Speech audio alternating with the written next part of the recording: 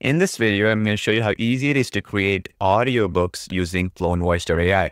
All you really need to do is go to the audiobook section. That's one of the tabs that you'll see on the top called Create Audiobook. And then you'll land on this uh, tab. It says Create Audiobook. And then all you have to do is give it an audiobook name. So let's say, for example, the audiobook name is about AI's uh, and future on human productivity. Let's say that's the what you're talking about. And you're going to do it based on chapters, by the way. So now you can go and use system voices, clone voices, design voices. You get the point. So let's say I want to use the design voices where I want to generate something. Um, let's say like this right? AI generated, or let's say I want to use clone voices or system voices. It doesn't really matter, okay? You can use one of the uh, voices as well, like friendly giant. That's it, okay? You want to use that you get the point, right? You can use any one of those voices and then you give it a script. So I'll paste the script here that um, uh, I got. So it's like, welcome to the world of artificial intelligence, how it's really defining productivity. Uh, right now, we only support English for the audiobooks and uh, hope to do other languages in the future. So you do AI's future on human productivity is the name and then you click on create audiobook. What's unique about audiobook compared to the other um, features is it comes up with up to 30,000 characters each. Okay. So that's the basic uh, benefit of it. So when you're trying to create it, just generates a longer length audio effectively.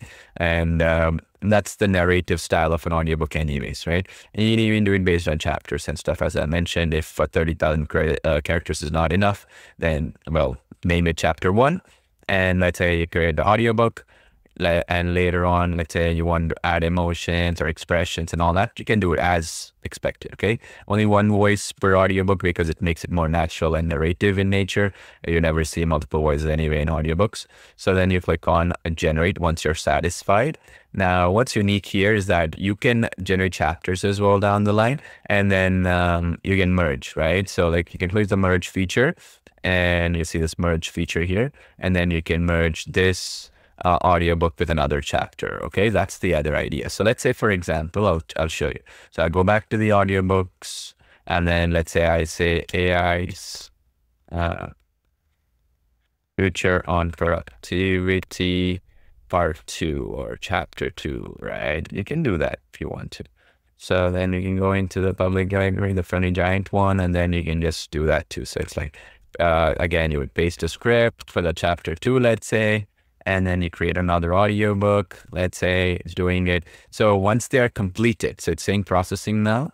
Once it's completed, you can then um, merge them together. Okay, so you click on the merge button, select these two, and then uh, are you sure you want to merge both of them? And then you confirm and then it's going to merge them together and create a longer length clip okay? But it works only once the uh, processing is completed. See how it says here i have it completed status.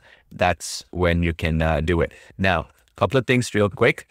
Because of the fact that it is um, up to 30,000 characters the audiobook takes quite a while to generate okay? Keep this in mind. So let's say for example uh, if you're talking about 30,000 character limit right, for, uh, to be able to generate per audiobook, it's going to take, give it a half an hour or so at least, okay, to generate this type of uh, big length audio files because AI uh, takes a long time to generate these things. Okay, so just be patient. Of course, you created it, it's processing, come back later, move on to other projects and stuff. All right, uh, very important you understand that. So audiobooks by default, just because of the length of the audio and just AI algorithms requiring a lot of processing power, they take a lot longer than any other type of um, audio generation in CloneVoice.ai. Okay, so in other words, audiobooks just give them up to 30 minutes uh, plus, okay, uh, to generate. Okay, just be patient and come back to it later. All right, is that clear?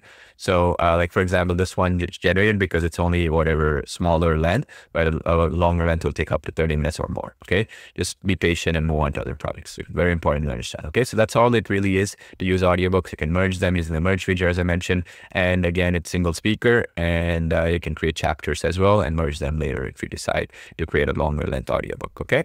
So thanks for watching. See you in other training videos.